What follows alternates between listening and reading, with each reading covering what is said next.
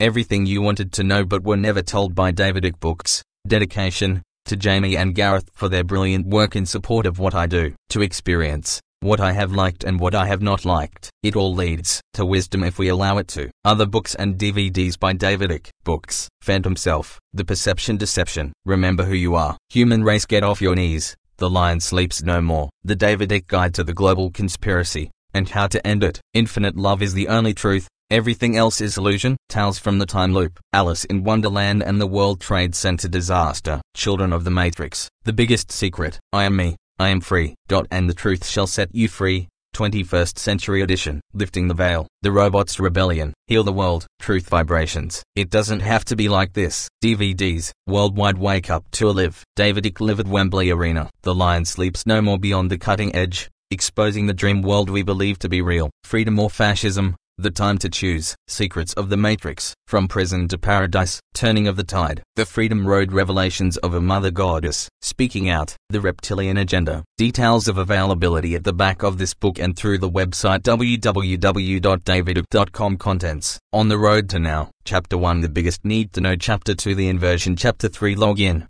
Log out, Chapter 4 1 Big Program Chapter 5 Arch Visitations Chapter 6 Software Elite Chapter 7 Mind Control and Shape-Shifting Royals Chapter 8 Casting the Spell Chapter 9 Holding the Spell Chapter 10 Advancing the Spell Chapter 11 Terrified of Truth Chapter 12 Before Your Very Eyes Chapter 13 War, War, War, Will of it Chapter 14 Saying the Unsayable Chapter 15 Is it hot or is it me? Chapter 16 The Assimilation Chapter 17 Synthetic Human Chapter 18 Perceptions of Freedom Postscript Bibliography Index I've looked at life from both sides now, from up and down and still somehow, it's life's illusions I recall. I really don't know life at all. Joni Mitchell, and now I understand what you tried to say to me, how you suffered for your sanity, how you tried to set them free. They would not listen, they did not know how. Perhaps they'll listen now. Don McLean Pity the nation, pity the nation whose people are sheep, and whose shepherds mislead them. Pity the nation whose leaders are liars, whose sages are silenced and whose bigots haunt the airwaves. Pity the nation that raises not its voice,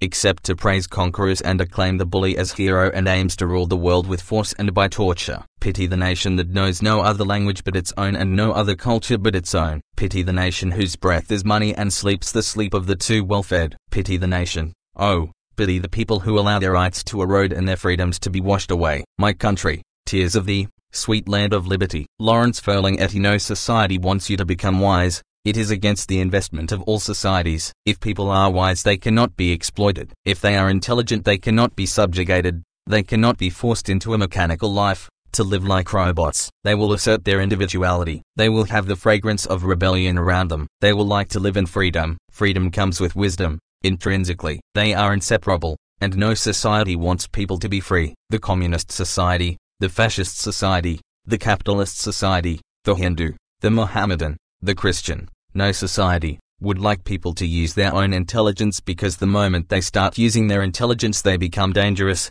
dangerous to the establishment, dangerous to the people who are in power, dangerous to the haves, dangerous to all kinds of oppression, exploitation, suppression, dangerous to the churches, dangerous to the states, dangerous to the nations. In fact, a wise man is a fire, alive, a flame, but he cannot sell his life. He cannot serve them. He would like rather to die than to be enslaved. Osho title definition. I want to make it clear before we start what the title represents. Everything you need to know but have never been told does not refer to all that people need to know in terms of information and knowledge. How could you put that between two covers? Religious books claim to do this but they are works of self-delusion and perceptual imprisonment. Everything you need to know in this case refers to the information necessary to open entirely new ways of thinking and perceiving reality, both in the seen and unseen from which everything else will come. This book is a start not a finish. It is written in layers with information placed upon information that together reveals the picture by connecting the parts. The parts are fascinating, but the picture is devastating. Prepare for a perception reboot. Your assumptions are your windows on the world. Scrub them off every once in a while,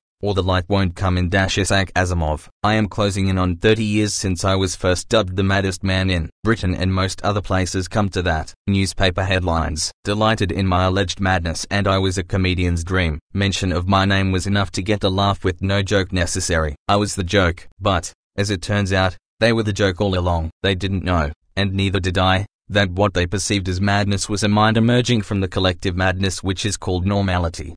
The madness that masquerades as sanity.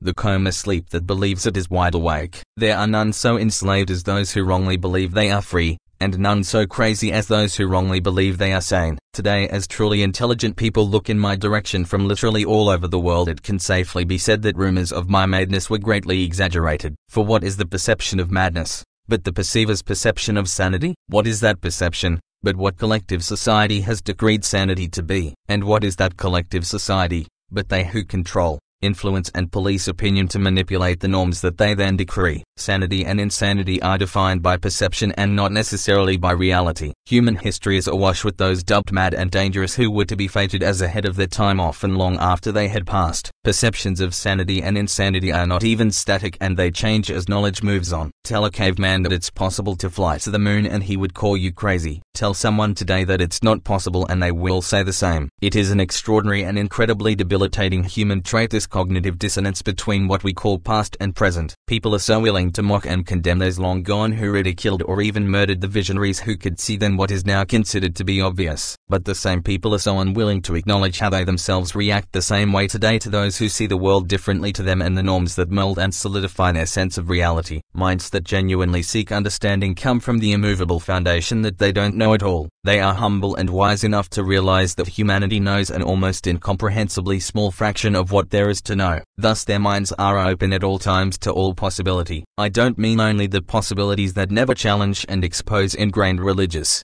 cultural, scientific and societal beliefs. I mean all possibility with none excluded. To consider all possibility and not only belief system possibility is, to much of humanity, like garlic to a vampire. Unyielding perceptions are recycled and confirmed by sheer unquestioned repetition. While newspaper headlines told the world of my madness I was, ironically, becoming sane. Amid historic levels of ridicule and abuse that I faced in the 1990s I was walking into the light of freedom, real freedom, where I could think the unthinkable and say the unsayable and not give damn what people made of it. How many allow themselves that priceless gift? And yet it is there for the taking whenever they choose. If I can do it, so can everyone. Chinese philosopher Lao Tzu said, care about people's approval and you will be their prisoner. I was born in Leicester, England, on April 29, 1952 and grew up on a council estate in a very different world to the one we see today. There was no internet, computers, smartphones or tablets and only one television channel until I was three.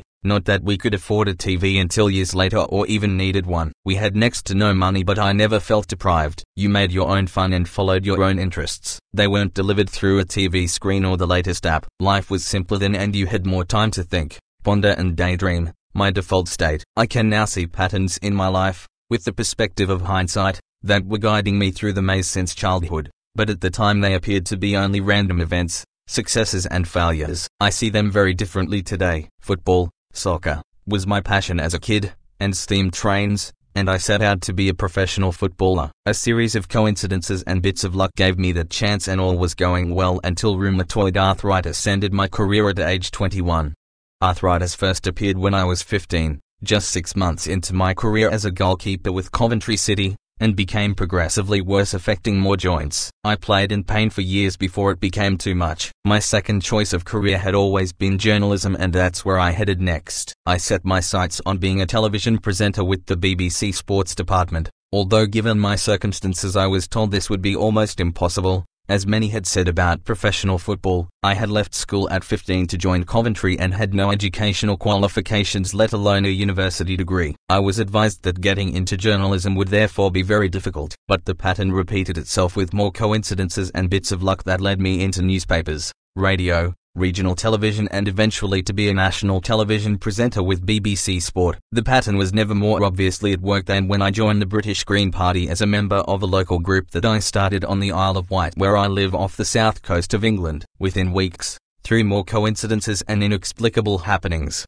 I had been elected a national speaker representing the party's views in the media. It was now that the patterns in my life of setting a goal and then doors synchronistically opening and closing to achieve that goal could no longer be denied. What was going on? I had no idea. Fig 1. Figure 1. My life seemed to be a series of random events until the recurring pattern became hard to deny. By the late 1980s I had tired of the television world which I found vacuous and full of its own self-importance. This phase was thankfully coming to an end with my life about to change dramatically. I began to have strange experiences at the turn of 1989 in the sense that when I was alone in a room there always seemed to be someone or something there, a presence. I guess you would call it. The feeling became stronger and the presence ever more tangible throughout the year until I had to address it. I was sitting on a bed in a London hotel room in early 1990 while still working for the BBC. The presence was so obvious that I said, if there is anybody here, will you please contact me because you are driving me up the wall.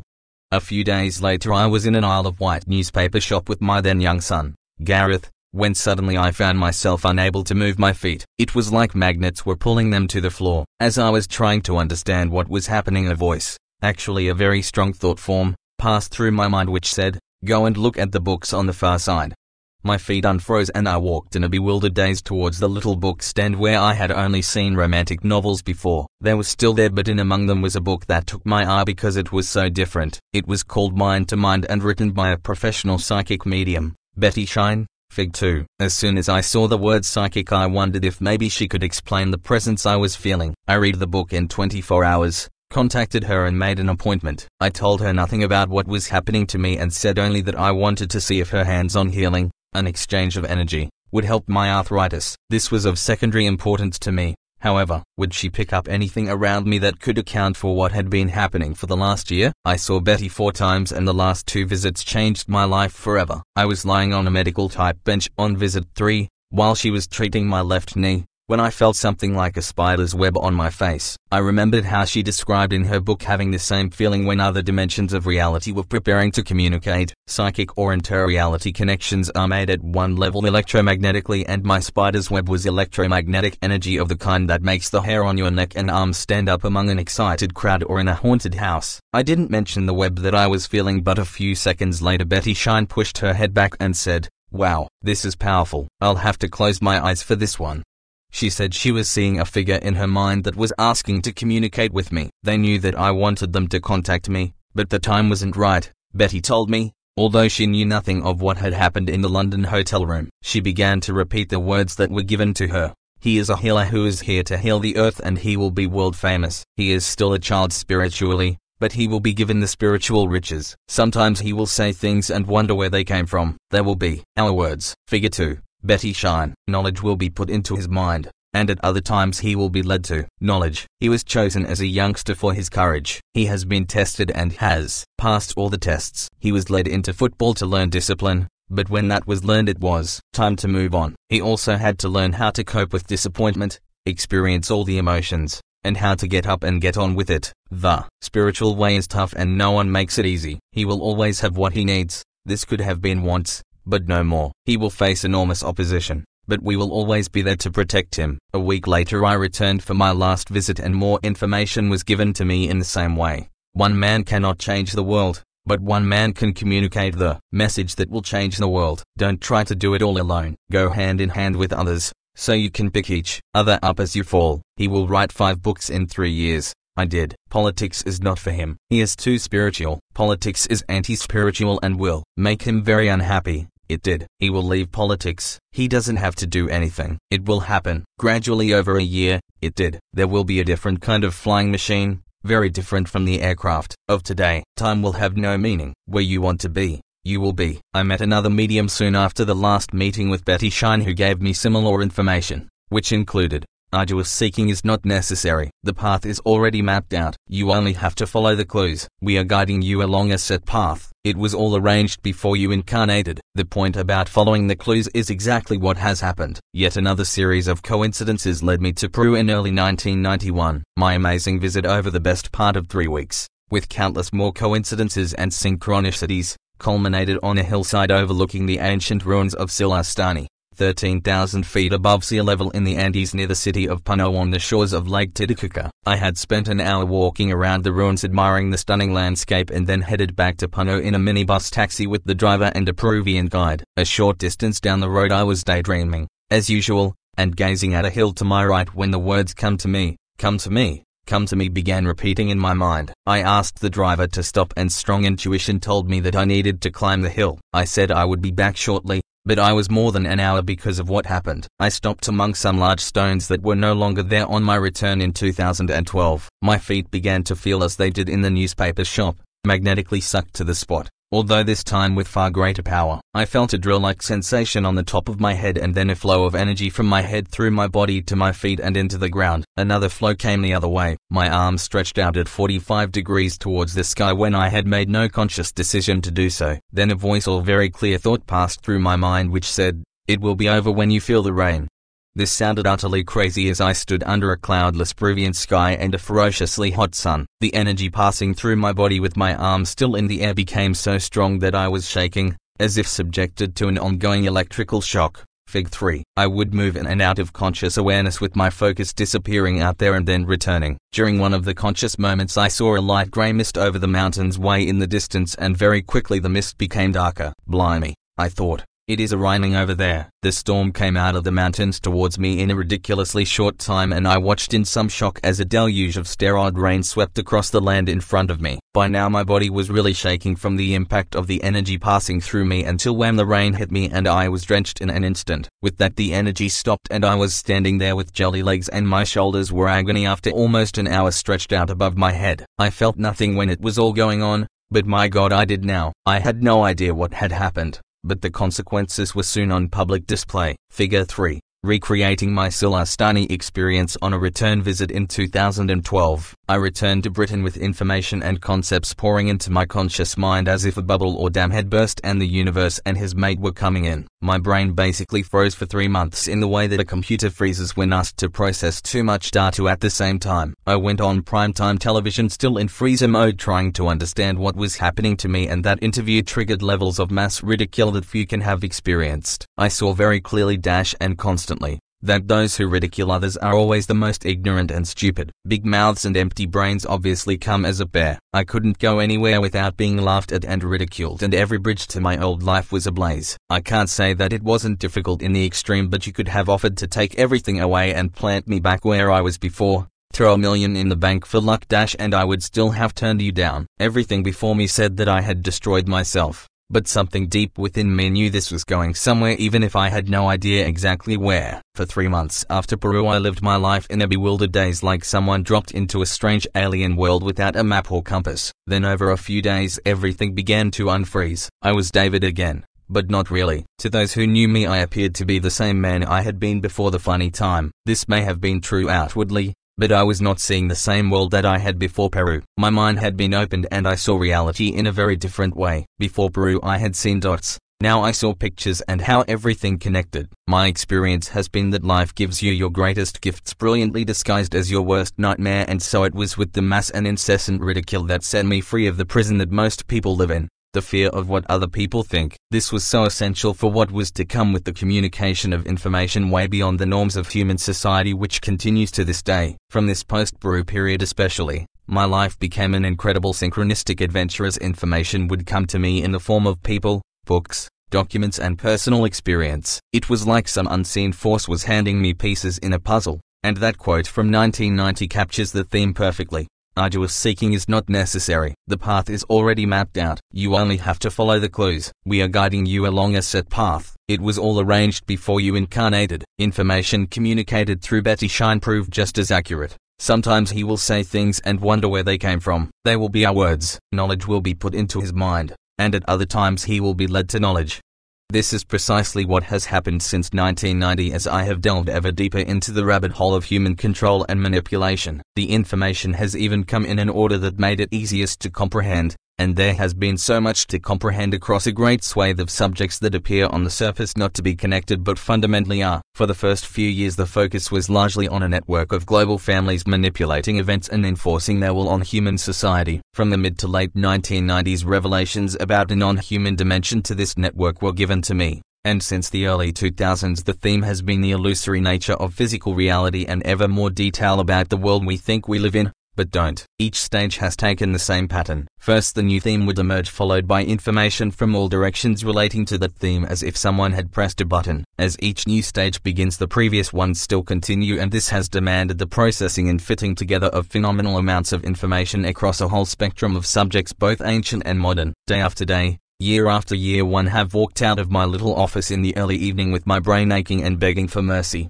But the older I have got and the more I have done it the easier the processing has become. I hope that I stand as living proof to people that no matter what is thrown at you over whatever period you cannot be stopped unless you stop yourself. You have the power over your life and you simply have to take it back from those you think have the power. The human power, no power dynamic is just a confidence trick, a mind game and we need to see through the illusion that humanity believes to be so real. If you refuse to give up, feel sorry for yourself and run away, you will get somewhere. You have to. Amid all the ridicule and abuse I have written a stream of books which are read all over the world and I have talked to ever bigger audiences all over the world. What happened to that nutter we said had gone mad? How come so many are now listening to what he says? What? Why? How come? I didn't quit and I never will. That's how come the mainstream media locked away in their time warp still portray me as the man who existed for just three months nearly 30 years ago and the same is the case with those who get their views and opinions from that media. The truth is very different as anyone new to my work is about to find out. Why do we live on such a planet of tears when life could be and should be so wonderful? There is an answer. And here it is. The world is full of people who have never, since childhood, met an open doorway, with an open mind. E. B. White, owns upon a no time, in a land called forever, there was only awareness in awareness of itself, all possibility and all potential, waiting to manifest. There was no form, only the potential imagination of form of every possible kind. This was the infinite state of pure awareness from which all that we think we see has ultimately come. That opening paragraph captures so many common themes encoded in the narratives and symbolism of religion and the myths, legends and accounts of native and ancient peoples the world over. They further include the story of how a negative or evil force emerged to challenge the omnipotence of the original creative force. From this appeared the universal theme of God v the devil or Satan and endless other names awarded to this source of chaos upheaval and manipulation. Most people can't see the commonalities amid the apparent confusion of different religions, names, cultures and emphasis. But if you can see past the differing detail the same basic story is in plain sight. This is only possible, however, if you can expand perception beyond the dots and see themes and connections that then come clearly into view. Followers and advocates of religions and storytellers among native peoples continue to use the language of the ancient originators, and this can obscure the fact that what is being described can today be expressed in the language of science and computation. They will talk of the Father and the Son, for example, when these were only the terms used to describe massive, though ultimately simple, concepts in a way that those of the time could grasp. What is the point of talking about quantum physics and quantum computers to people still knocking rocks together? Storytellers and carriers of the knowledge obviously used contemporary terms and symbols to get their point across and this was true of all religions and forms of worship. That was fine and essential then but the narrative needs to move on. Knowledge of the hidden realms of quantum mechanics and so much else has expanded dramatically while religions and native peoples, with honorable exceptions, continue to use the language of another age. An update is urgently required and that is one aim of this book. We will see that. 1. Themes of religions and native cultures are basically correct, emphasis often on the basically. 2. Most accounts have become so inverted and distorted from the original that billions today are following and worshipping the very opposite of what they think they are. 3. We should not be worshipping anybody or anything when we are the anybody, everybody and anything. Everything. To show this to be true requires a total reevaluation of what we call reality dash the world we think we see and with which we think we daily interact. I have called this opening chapter the biggest need to know because without this knowledge nothing else can make any sense, and its suppression has ensured that generation after generation in culture upon culture complete entire lifetimes while never answering the basic questions of, who am I? Where am I? What am I doing here? There is a fundamental secret behind why the answers have been kept from us and when that veil is lifted human society, ancient and modern, morphs into crystal clarity. It is indeed a case of everything you need to know, but have never been told. Systematically imposed ignorance entraps humanity in perceptual servitude and allows the tiny few to control the very many. Fig 4. If we are to free ourselves from this tyranny the veil of perceptual illusion must first be lifted. Figure 4. Who am I? Where am I? Reality check the scale of illusion is staggering. Ask all but a relative few if they live in a solid, physical world and they will look at you in blank bewilderment for even posing the question. Of course we do. Don't be silly. But actually, we don't. No, we don't. Consider that for a moment. Every morning we experience our solid body getting out of a solid bed to eat our solid breakfast and head through solid streets in solid vehicles to go to solid work or solid wherever. But all the time, there is no solid. As illusions go, they don't get any more extreme. I chuckle when I hear the fake news mainstream media dismissing other versions of events as conspiracy theories and too far-fetched to believe while reporting the world from the perspective that everything is solid when it isn't. The self-delusion is monumental because so is the scale of perception programming. I have been labeled mad and insane for nearly 30 years by mainstream society, especially the media. On the basis of that very self-delusion, many of the things I say are happening would not be possible if reality was physical and solid, but it's not. Those who dismiss and ridicule what I say are coming from a perception of solidity and have no idea what the world really is. Hardly surprising, then, that they say I'm crazy. We are told that our solid, material reality is made of atoms and that everything is solid and physical because of them. But, hold on, atoms have no solidity and so cannot a solid world make.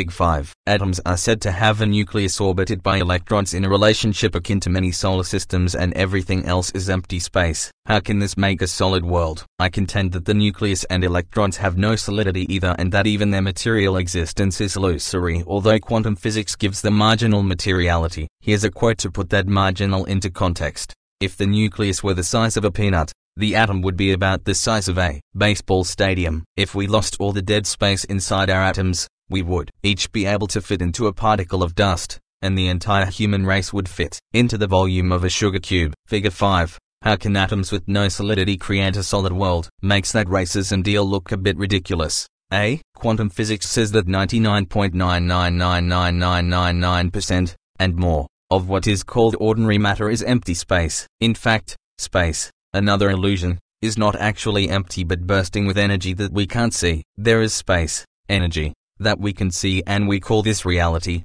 and there is space, energy, that we cannot see and we call this empty. Human sight is verging on the blind when you compare what we can see with what we can't see. Almost the entirety of infinite existence is denied to us while we are perceptually enslaved in a tiny band of frequency that science calls visible light. Fig 6. The electromagnetic spectrum is only 0.005% of what exists in the universe in terms of energy and what is referred to as matter. Fig 7. Some say it's a bit more, but not much. Think about that. Just 0.005%. Now contemplate this. Humans can only see a tiny fraction of that 0.005% in the band of visible light, Fig 8. Most of the rest is called dark energy and dark matter by mainstream physics. I don't buy their version of what this dark really is and I use the term only in the sense of it being unseen by human sight senses. People say that this or that is not possible and this or that is crazy while virtually 100% of what exists in infinite forever is not visible to them. A little humility is urgently required, given that mainstream science-quantum physics apart, will largely not explore beyond the seen and what is considered to be the tangible it becomes clear why its concrete conclusions have proved to be so inaccurate and often ridiculous. Yet this same science is perceived and promoted today by its bewildered advocates and believers as the arbiter of all knowledge. This is extraordinary on the face of it, but then not so much when you see the whys and wherefores of the global perception deception. The illusion is so deep that we have never even touched anything in the way that we think we have. Oh, but you are holding a book, right? No, you are holding an electromagnetic field of information, the book, with electromagnetic fields of information, your hands. The experience of touch is the connection between different electromagnetic fields. The experience of apparent salinity is really electromagnetic resistance between energetic fields of different frequencies or densities. You who are not solid can't walk through a wall which is not solid because of electromagnetic resistance and not physical resistance because there is no physical. This all sounds so fantastic and unbelievable to the human conscious mind. But it's true, we don't hear anything until the brain has decoded electrical communications from our ears. The ears don't hear,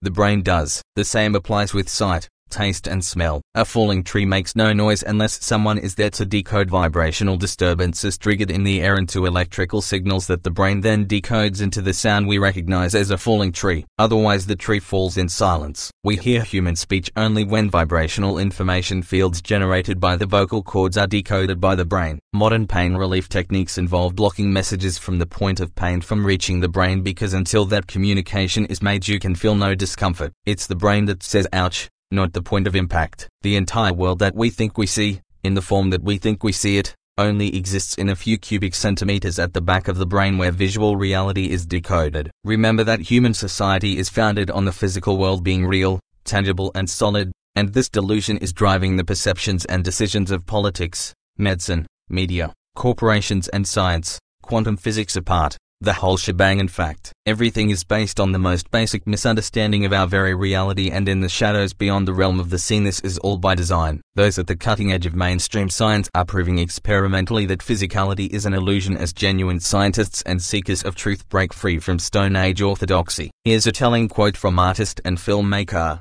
Sergio Toporek, Figure 6. Our world is only a band of frequency. Figure 7. All we can see is a sliver of the 0.005%. Figure 8. Home. Consider that you can see less than 1% of the electromagnetic spectrum and hear less than 1% of the acoustic spectrum. 90% of the cells in your body carry their own microbial DNA and are not you. The atoms in your body are 99.999999999999999% empty space and none of them are the ones you were born with. Human beings have 46 chromosomes, two less than a potato. The existence of the rainbow depends on the conical photoreceptors in your eyes. To animals without cones, the rainbow does not exist. So you don't just look at a rainbow you create it. This is pretty amazing, especially considering that all the beautiful colors you see represent less than 1% of the electromagnetic spectrum. And this is from Science Magazine, Wikipedia. Every second, 11 million sensations crackle along these brain pathways. The brain is confronted with an alarming array of images, sounds and smells, which it rigorously filters down until it is left with a manageable list of around 40. Thus 40 sensations per second make up what we perceive as reality. We should let that sink in for a moment. Our reality which seems so real is constructed every second from 40 snapshots of information, sensations, from a potential 11 million. The other 10,900,060 are absorbed by our subconscious mind while we remain consciously oblivious of their existence. Quantum physics explores the hidden realms beyond the seen and has demolished the material, solid, clockwork model of reality peddled for so long by mainstream science. Cutting-edge quantum physicists have more in common in their explanation of reality with ancient seers and shamans than their conventional colleagues in closet-minded academia. Quantum physics to the scientific mainstream is at best an irritant and at worst a catastrophe to their world is solid mindset which dominates and infests the institutions of human society, so much so that even with quantum revelations about illusory physicality the rest of science largely cracks on as if nothing has changed. Oh, but it has, and fundamentally, scientific orthodoxy is either being left behind and becoming an irrelevance or being forced in an act of survival to think the previously unthinkable, that they were wrong all along and have caused generations galore to be equally wrong by falling for the trap that because people have passed exams and have letters after their names they must, by definition, know what they are talking about. History constantly tells us otherwise. Terms like professor and teacher are titles awarded by the state for serving the belief system of the state. They are not a confirmation of intelligence and certainly not of awareness beyond intellectual myopia and the download of academic convention. That is not to say that you can't be an intelligent professor or teacher only that it is clearly not a requirement of the job. As a real scientist, Nikola Tesla, said long ago, the day science begins to study non-physical phenomena, it will make more progress in one decade than in all the previous centuries of our existence. This is proving to be the case although progress is not what you discover but what you do with it. Our solid world could not be more unsolid and here's the kicker, governments, science, medicine, corporations, education and media, what I call collectively the mainstream everything, all produce their decisions, laws, explanations of reality, treatments and reports on the basis that it is solid, material and physical. No wonder that human society is such a basket case. If your whole perception and decision making is founded on a belief in reality that could not possibly be more wrong, then how could that not produce extremes of madness? Almost the entirety of human life is skewed wherever you look because of this most basic misconception about the very reality we are experiencing. This inversion and perversion of perceived reality has produced the inversion and perversion that we call human society. Author Michael Ellner put it so well, just look at us. Everything is backwards. Everything is upside down. Doctors destroy health. Lawyers destroy justice. Universities destroy knowledge. Governments destroy freedom. The major media destroy information and religions destroy spirituality. What's more, none of that is by chance and all is by calculated design. The and by whom will become clear. Figure 9. Who are we? A state of being aware. The all that is we are awareness, a state of being aware. Everything else is detail and illusion. We are not our body. We are that which is aware and experiencing through the body. Fig 9. Awareness in the purest sense has no form but it can experience through form. In its most expanded state it is not even energy, it just is. Our awareness is an expression of the totality of awareness. Hence some religions and native peoples speak of being aspects or children of God or the Great Spirit. Other religions condemn as blasphemy any claim that we are God. Dash what I call infinite awareness. In its endless and various forms, this serves the manufactured and enslaving belief that we are insignificant, detached, isolated and powerless. None of this is true at the deepest of levels, but it serves the agenda of human control by peddling an acceptance of impotence, servitude and know your place. The late great English-born philosopher Alan Watts, 1915 to 1973, was right when he said, God is what no one admits to being and everyone is. Religious frocks are symbols of this manipulated sense of detachment and isolation as they stand as sentinels between believers and the perceived deity. They know God better than you do and the Pope slash Rabbi slash Imam are his best mates. What breathtaking nonsense it all is. We are points of attention within infinite awareness as infinite awareness infinitely experiences itself. Figs 10 and 11. This doesn't mean that every point is infinitely aware. If you stand on a mountain you can see a great panorama, but if you stand in a pitch black room you can see nothing. Both are points of attention, awareness, and yet their perception of reality is dramatically different. So it is with the human mind and infinite awareness in its totality, or, in current human terms, even vastly less than its totality. Human consciousness is so asleep, so imprisoned by illusion, it is hardly conscious at all. The droplet is the ocean and the ocean is the droplet, but not every droplet is as aware as the ocean if they become perceptually isolated from the whole. Fig 12. Words like infinite and totality are themselves a misnomer for awareness beyond time and space, or our perceptions of them, but they serve a purpose to contrast with human perceptual myopia. Infinite awareness just is. It is an isness, a state of awareness that knows all and sees all because it is all. The range of potential states of awareness, therefore, span all possibility from infinite awareness in awareness of itself to someone who thinks she's just Mary or Margaret working on the checkout. Humanity is big time at the lower end collectively of this perceptual scale, but, equally big time, we don't have to be. Figure 10, we are infinite awareness infinitely experiencing itself. Figure 11, humans are a point of attention within infinite awareness within a tiny band of frequency called visible light. Figure 12, where does the droplet end and the ocean start? They are one and so is human awareness no matter what the background, color or creed it perceives itself to be. Figure 13. The brilliant blackness as I experienced it in Brazil. Figure 14. All possibility, all potential waiting to manifest. I have taken psychoactive potions twice, on two nights in the rainforest of Brazil in 2003 in the form of a plant called ayahuasca which tastes a bit like licorice. On the second night in particular, after I entered an altered state, I spent five timeless hours lying in the darkness as a strong, loud voice, taking a female form, spoke to me in detail about the illusory nature of physical reality. It was an extraordinary experience which I remembered in photographic detail. The voice said at the start, all you really need to know is infinite love is the only truth, everything else is illusion. These words were repeated several times. Infinite love, infinite awareness in awareness of itself, is the only truth, everything else is illusion.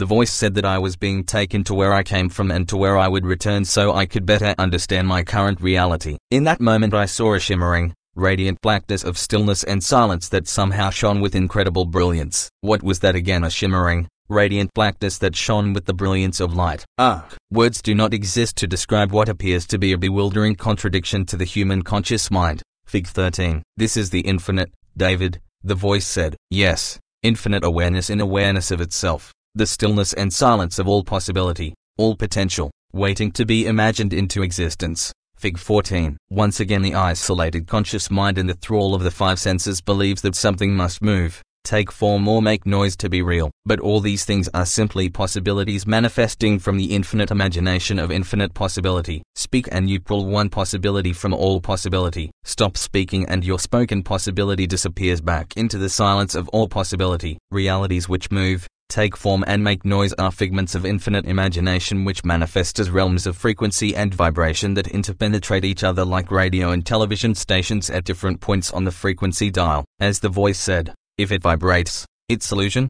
These realities share the same space and don't interfere with each other unless they are very close on the dial. When this happens we call the result ghosts and paranormal activity. Ghosts and apparitions can pass through walls because they are not operating within the same frequency band just as radio frequencies can pass through walls. I am far from the only one to have experienced this infinite awareness as a vibrant shining blackness. Many have described the same experience to me over the years and human ages and sages of illusory time have known of this indescribable, not place, but state of awareness or being. Near-death experiences are a great source of information about the unseen as they tell of entering a totally different realm of reality after their consciousness, point of attention, withdraws from the body at death only to return to this reality when the body is revived. Fig 15. Dr. Eben Alexander, an academic neurosurgeon at Harvard for 15 years, is one such example with his near-death experience during a week-long coma in 2008. He went into the coma, caused by meningitis, believing like his scientist father that consciousness exists only in the brain and cannot continue when the brain has ceased to function. Put bluntly, dead means dead. This is the very foundation of mainstream scientific dogma they call evolution that leads deeply bewildered academics like Professor Richard Dawkins at Oxford University to trash any idea of awareness beyond the grave. The deadly duo of arrogance and ignorance that entrap the concrete mind of five-sense academia means that not only do they go on their clueless way, but they insist that everyone else does the same. Dawkins said, Figure 15, near-death experience when our point of attention withdraws from the focus and lens of body, mind and expands into a vastly greater sense of reality. You cannot be both sane and well educated and disbelieve in evolution. The evidence is so strong that any sane, educated person has got to believe in evolution. Or, put another way, you cannot be both sane and well educated if you don't believe what I do. The arrogance of ignorance defined in a single sentence. Serbian-American scientist Nikola Tesla, 1856 to 1943, who was way ahead of the science mainstream, hit the button when he said, the scientists of today think deeply instead of clearly. One must be sane to think clearly but one can think deeply and be quite insane. This was the world of Eben Alexander until he opened his eyes from his coma with news of a completely different reality and explanation of life itself. He tells his story in his book, Proof of Heaven, in which he writes about the core or dazzling darkness from where the purest love emanated and all is known. This is what I experienced in the rainforest of Brazil and dazzling darkness is a perfect description of what I saw. The purest love emanated and all is known further describes what I call infinite awareness in awareness of itself, all-knowing, all possibility, all potential. Tesla also talked of the core from which everything comes. In the universe there is a core from which we obtain knowledge, strength and inspiration. I have not penetrated into the secrets of this core, but I know it exists. Figure 16. Everything is one infinite awareness having different experiences the force that moves all things. Ancient and native cultures the world over have their own names for this force that gives life to everything. Lakota people in the United States speak of Wakantanka or the force which moves all things. This is a wonderful description of the all that is. Great Spirit is another. You can liken infinite awareness to an infinite ocean of infinite possibility. We give names to different oceans like the Atlantic, Pacific and Indian, but they are all the same body of water. We give names to people, countries, cultures, trees, mountains, air, rain, planets, stars and galaxies, but they are all the same ocean of infinite awareness in different manifestations. Fig 16. Once we become disconnected from the influence of expanded realms of this awareness our sense of isolation and apartness from everything else leads to a self-identity with name, race, culture, religion, job, lifestyle and life story. These are not who we are, only what we are currently experiencing. They are an experience, not an I. This is the self-identity that I call phantom self and it is the foundation of human misery, emotional trauma and control. Fig 17. The late singer and writer Leonard Cohen said, If you don't become the ocean, you'll be seasick all your life. If you don't become one with infinite awareness you'll only perceive a little isolated me powerless in the face of forces and events you cannot control. Oh, but you can. Near-death experiences galore have described realities outside the perceptual prison of the body in extremely common terms. One said, it's like being half asleep when I was alive, and totally awake after I was pronounced dead. Anita Moorjani, author of Dying to Be Me, said after her own out-of-body experience, when we are not expressing in our physical body, you and I and all of us, we are expressions of the same consciousness.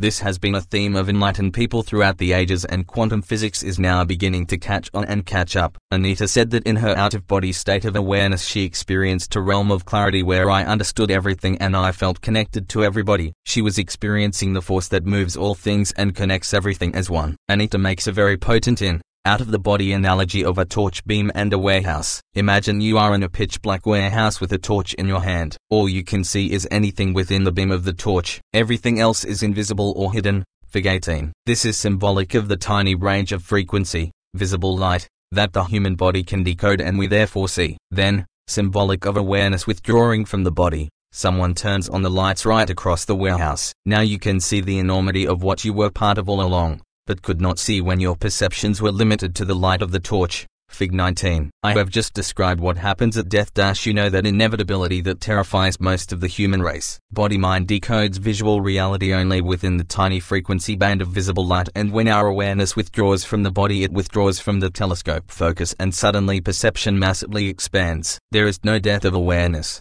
only the end of its temporary vehicle for a particular experience. Fear of death is only the ignorance of life, or, as Rumi, a 13th century Sufi mystic, said, Figure 17, the fake self-identity that holds humanity in servitude to illusion. This place is a dream. Only a sleeper considers it real. Then death comes like dawn and you wake up laughing at what you thought was your grief. This place is only a tiny band of frequency while forever lies beyond its perceptual walls. I will be exposing at length the architects of those walls or firewalls as they really are. I have used the following quote from a near-death experiencer several times in my books because it is such an encapsulation of reality outside the body. Dot. Everything from the beginning, my birth, my ancestors, my children, my wife, everything comes together simultaneously. I saw everything about me, and about everyone who was around me. I saw everything they were thinking. Now, what they thought then, what was happening before, what was happening now. There is no time, there is no sequence of events, no such thing as limitation, of distance, of period, of place. I could be anywhere I wanted to be simultaneously. Figure 18. A great analogy for the frequency band we call the world. Figure 19. We are part of something far bigger and ultimately infinite. And this comes from academic neurosurgeon Eben Alexander. To experience thinking outside the brain is to enter a world of instantaneous connections that make ordinary thinking, those aspects limited by the physical brain and the speed of light, seemed like some hopelessly sleepy and plodding event. Dot. Our truest deepest self is completely free. It is not crippled or compromised by past actions or concerned with identity or status. It comprehends that it has no need to fear the earthly world, and therefore, it has no need to build itself up through fame or wealth or conquest. This is the reality of life outside the body and there is a force that has sought, mostly very successfully, to keep this from us and imprison our perception in a sense of limitation, I can't and that's not possible. There is so much more to humanity than we have ever understood and what testament to the scale of illusion that so many have been killed, tortured and burned at their stake for revealing this truth or parts of it. The whole foundation of human control can be described in a single sentence, disconnecting the incarnate human mind, what I will call body-mind, from the influence of our infinite self or disconnecting the incarnate droplet from the ocean. Fig 20. Everything comes from this and without such disconnection the depth and scale of human perceptual control would be impossible. We will see as we progress how the very fine detail of human society is structured to take that symbolic mountain panorama and lock it away in the pitch black room. Humanity is imprisoned by its sense of reality which comes from its point of attention. Fig 21. Awake philosopher Alan Watts said that the ego, body-mind, is nothing other than the focus of attention. This is exactly what it is and so what more potent form of perceptual control could there than to focus attention, sense of reality, only in that tiny sliver of frequency called visible light, figure 20, the bottom line of human enslavement, figure 21. If our attention can be focused only in the five senses we cease to be influenced in our perception of reality by our expanded levels of awareness beyond the illusion. Imagine all the people, and everything else, the still and silent all that is produces what is called creation through the imagination of its points of attention large and small. This can be anything from creating entire worlds to doodling in a notebook. There can be error, too. In such creations, witness the creation of the atomic bomb. The all that is can be capable of error, not in its purest and most expanded expression, but its points of attention can. Even then what is error except another form of experience and what is experience except the road to wisdom and remembering our true identity? How often do our biggest mistakes turn out to be our greatest gifts? According to ancient accounts which concur with my own research and conclusions our very current reality was the result of error and I'll be explaining much more about this in due course. We should also not forget that if we are talking about a state of all possibility then error is a possibility and without this there cannot be a state of all possibility. In the same way, all possibility means that the all that is all infinite awareness is everything and nothing, everywhere and nowhere, it is and it isn't. This has to be the case or it would not be all possibility or infinite imagination. So everything is within nothing and nothing is within everything. Nowhere is within everywhere and everywhere is within nowhere. Once we grasp the nature of all possibility and infinite imagination in the fullness of its meaning all paradox disappears. Infinite awareness is not energy but produces energy as an imagination of all possibility. Creations of infinite imagination and the imaginations of its imagination can manifest as the realms of what we call energy frequency and vibration. The further these imagined creations themselves create and become detached from a state of infinite awareness in awareness of itself the more they fall into ever lower frequencies and so states of illusion. If they fall far enough they end up in the energetic densities that we call matter. Legendary American comedian Bill Hicks, 1961 to 1994, who had countless experiences in psychoactive drug-induced altered states, said, apostrophe, all matter is merely energy condensed to a slow vibration. We are all one consciousness experiencing itself subjectively. There is no such thing as death. Life is only a dream, and we are the imagination of ourselves. This is what the illusion of physical matter really is, energy vibrating so slowly that it gives the appearance of solidity. Scientists don't come much more famous than Albert Einstein and yet he said the same as a comedy club comedian. To know does not require some great formal education, programming, it means simply to know. Mainstream education is structured to stop us knowing by enslaving our perceptions of the possible and it is no coincidence that Einstein also said, the only thing that interferes with my learning is my education. Einstein's explanation of matter was the same as Bill Hicks. Concerning matter, we have been all wrong. What we have called matter is really energy, whose vibration has been lowered as to be perceptible to the senses. There is no matter. There is only light and sound. There is only light, energy, and sound, vibration, which together give the illusion of physicality when the vibration is slow enough and within the frequency band of visible light, visible energy. The slower energy vibrates the more solid it appears to be, say a wall, and the faster it vibrates the less dense and even ethereal it appears to be. If it vibrates fast enough to breach the frequency band of visible light then we can't see it. When people talk of seeing something appear out of nowhere or disappear before my eyes they are describing phenomena that enter the frequency band of visible light and then change frequency to go beyond it. Now you see it, now you don't, now you decode it, no you don't. Academics dismiss such descriptions with regard to UFOs and aliens appearing and disappearing because they don't understand what reality is. Those more aware of how energy interacts with consciousness,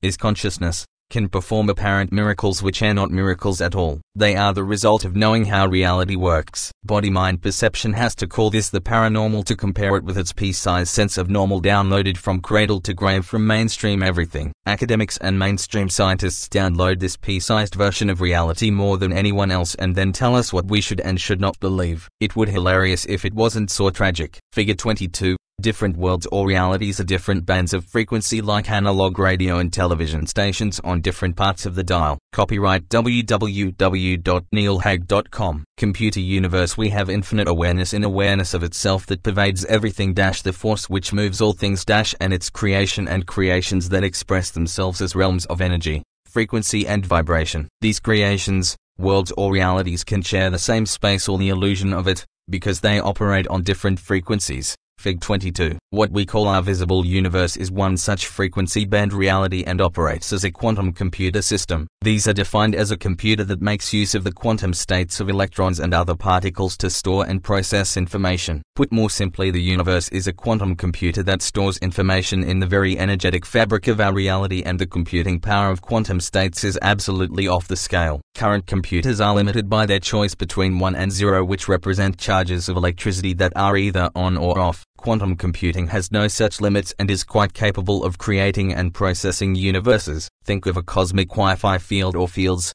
Fig 23. You can't see Wi-Fi, but a computer can decode that hidden information source into a global collective reality on the screen that we call the Internet or World Wide Web. The universe is information stored in the unseen, like you can't see Wi-Fi, and what I will call the human body mind is a biological computer, in the widest possible sense of that definition, which decodes the Wi-Fi information construct of the universe into a perception of physical reality on our screen, what we experience as the brain and genetic structure as a whole. Fig 24. Elite and massively funded projects around the world are developing quantum computers that mimic our very reality with monsters like Google seeking to lead the way for reasons that will become clear. Here's another point staring us in the face. We have quantum physics because the universe is a quantum computer. Our quantum computer universe is interactive in the sense that we take information and perceptions from the energetic construct and post our own thoughts, perceptions and emotions to impact on the universe. I call it the cosmic internet. Fig 25. The human body, brain is a biological quantum computer and so are planets, stars and everything in our reality as expressions of the quantum computer universe. Cosmic Wi-Fi or waveform information fields are the foundation of the universe and we decode the universe that we think we see from those fields in the way I will be describing. The universe can be summed up in one word, information, and even more accurately in five, information encoding and decoding information. Fig 26. The computer Internet analogy is apt again. A desktop computer is information encoded to decode information and information sources like disks, data sticks and the internet are encoded to be decoded. Everything is interacting, encoded and decoded information and so is our physical reality. The only place that the internet appears as we experience it with graphics, pictures and text is on the screen. Everywhere else it is information in other forms and the same is true of the way we decode reality. The foundation state of the universe is waveform information or what some call the metaphysical universe. Fig 27. Our five senses convert this waveform information source into electrical signals and send them to the brain which constructs the reality that we think we see,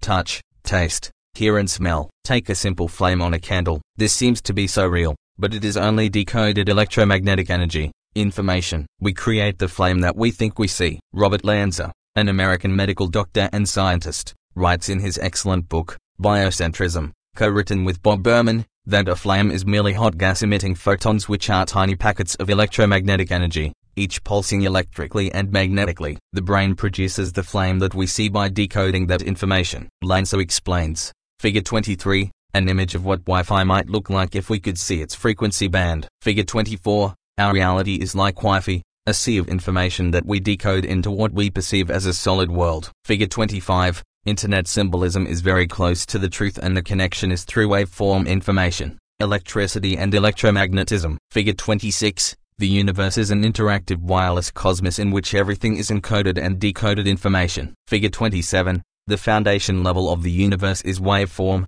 information carried in waves. It is easy to recall from everyday experience that neither electricity nor magnetism have visual properties. So, on its own, it's not hard to grasp that there is nothing inherently visual, nothing bright or colored about the candle flame. Now, let these same invisible electromagnetic waves strike a human retina, and if, and only if, the waves happen to measure between 400 and 700 nanometers in length from crest to crest, then their energy is just right to deliver a stimulus to the 8 million cone-shaped cells in the retina. Each in turn send an electrical pulse to a neighbor neuron, and on up the line. This goes, at 250 miles per hour, until it reaches the warm, wet occipital lobe of the brain, in the back of the head. There, a cascading complex of neurons fire from the incoming stimuli, and we subjectively perceive this experience as a yellow brightness occurring in a place we have been conditioned to call the external world. Talk about illusion, Alan Watts said. Dot.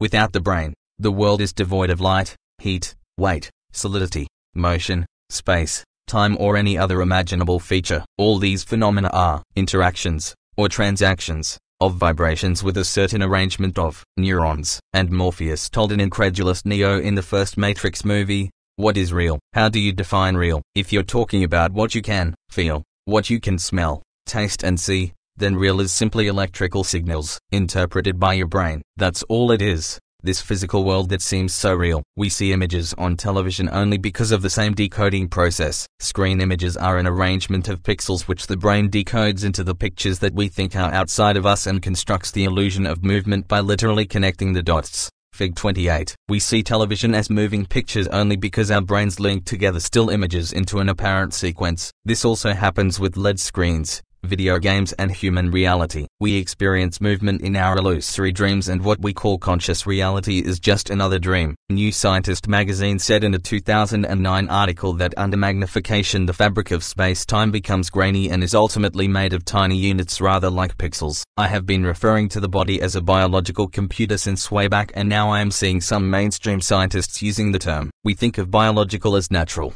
but it is in fact a form of technology when compared to infinite awareness. The body is an extraordinarily advanced computer system, once again in the widest possible sense, which dies when it ceases to function. So does a computer. Goes into sleep mode to conserve energy. So does a computer. Has an immune system. So does a computer. Antivirus software. Has a brain. So does a computer. The central processing unit, or CPU, known as the computer brain, and has a hard drive. DNA etc. So does a computer. The reason they can now connect a human brain with a computer and make the computer respond to thought is because they are connecting two computer systems. Fig 29. One is technological and the other biological or another form of technology. The human body has the equivalent of a computer motherboard with its genetic network and the meridian lines of energy on which the healing art of acupuncture is based. Fig 30. Acupuncture needles and other techniques are designed to balance the flow of energy, information, through those pathways to maintain information balance and communication in the constant interaction between body and cosmic internet. When those flows are out of balance we enter a state of disharmony or disease,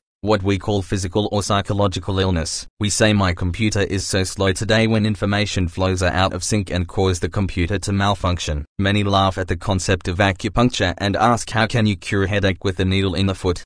Acupuncture meridians operate in circuits and if the blockage in the circuit causing the headache is in the foot it makes no sense putting the needle in the head. The meridian system connects with the chakra vortex points throughout the body's electromagnetic field which connect the body with the cosmic internet and other levels of reality. Fig 31. Chakra means wheels of light in the Sanskrit language of ancient India and the main ones are, the crown chakra on top of the head, where I felt the drill energy on the hill in Peru, brow, or third eye, chakra in the center of the forehead, throat chakra, heart chakra in the center of the chest, solar plexus chakra just below the sternum, sacral chakra just beneath the navel, and base chakra at the bottom of the spine. Each one has a particular function or functions. The sacral chakra in the lower belly processes emotion and so we feel anxiety and nervousness in that area. At its most extreme this affects the colon and gives people the shits and makes them shit scared. We feel love, empathy and compassion in the chest because that where the heart chakra vortex is located within the body's electromagnetic field. Figure 28.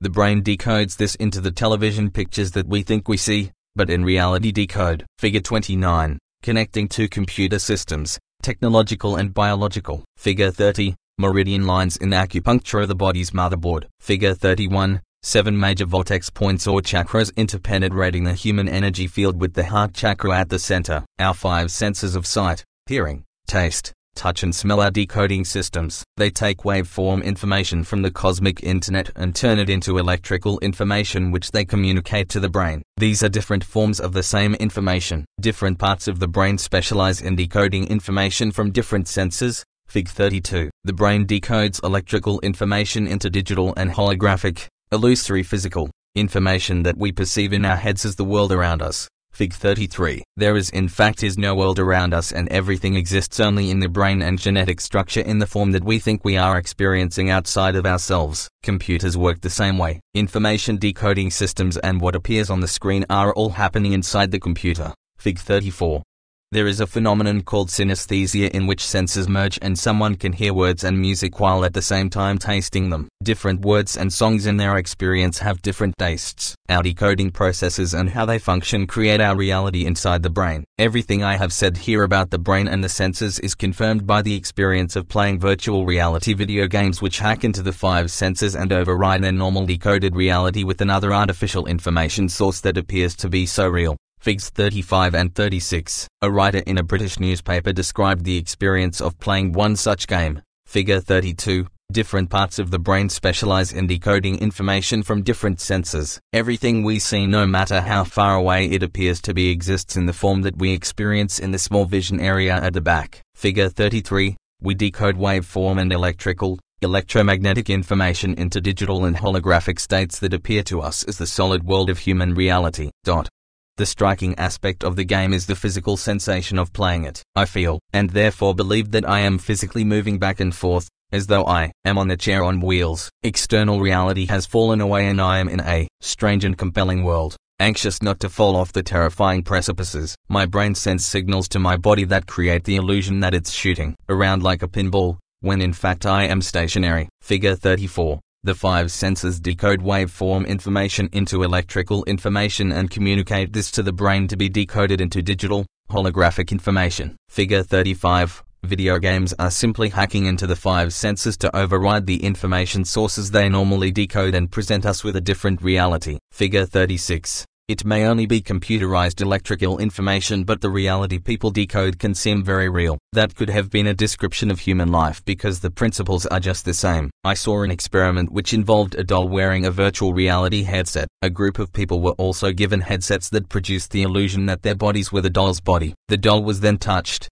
had an injection in the iron and messed with in other ways and each time the group reacted as if it was being done to them. They were feeling in their own bodies what was being done to the doll. This is how powerful and perception controlling even virtual reality at the current human level of development can be never mind what is actually possible. We are one no matter how solid something appears to be. It is waveform energy in its foundation state and at this level it becomes possible to communicate with animals plants and even apparently inanimate phenomena like rocks. Everything is consciousness and alive as an expression of infinite awareness whether it is a mountain, stream or forest. Mainstream scientific studies are slowly beginning to acknowledge what awakened people have known all along, that everything is consciousness and connected to everything else. Evidence mounts to confirm that trees communicate, feel pain, care for each other and organize as communities and this is true of everything. Some scientists are asking if trees and plants have brains, but a brain is only a means of decoding information and in that sense everything has a brain because everything is constantly receiving and transmitting information. In five-sense reality this is done electrically and electromagnetically and you don't need a big chunk of grey matter to do that. There are endless other receiver transmission processes through which this can happen. Monica Gagliano,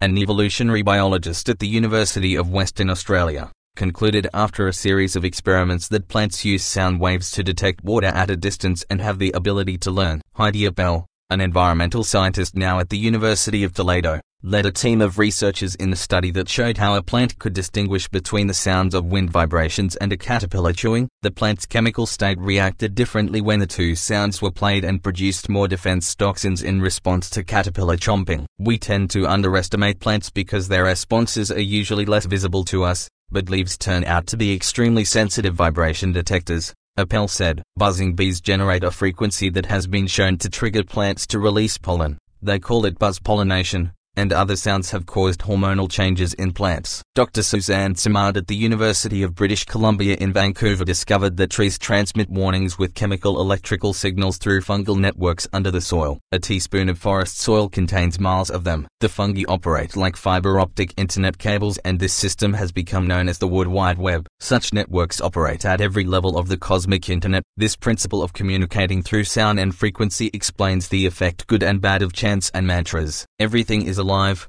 conscious and part of an infinite web of life and consciousness. Fig 37. Michael Pollan, an author and researcher on these subjects, said of trees and plants, they have ways of taking all the sensory data they gather in their everyday lives, integrate it and then behave in an appropriate way in response. And they do this without brains, which, in a way, is what's incredible about it because we automatically assume you need a brain to process information. But what is the brain except a form of information and information can be processed in infinite different ways by infinite expressions of consciousness. The ignorant laugh and dismiss suggestions that we can communicate with animals, trees, plants or oaks because they can only perceive communication through human language. At the waveform level and beyond we are all connected to each other, and communication can happen not through words but through the waveform connection which you can liken to telepathy. An article in Scientific American magazine about black holes as computers said, dot.